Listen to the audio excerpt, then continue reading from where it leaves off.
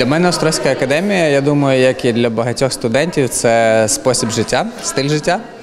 І я думаю, що Острозька академія це про майндсет, так званий, тобто спосіб мислення. Чи вона поєднує минуле з майбутнім. Але перш за все, Острозька академія це про людей, е, які тут є. Це про викладачів, це про ректора, це про деканів і це про студентів. І саме вони створюють ось таку екосистему, е, яку я вважаю є унікальною в Україні. І, і це чудово тут знаходитися ще раз. е, З зовсім іншими відчуттями, ніж я тут був 6 років тому.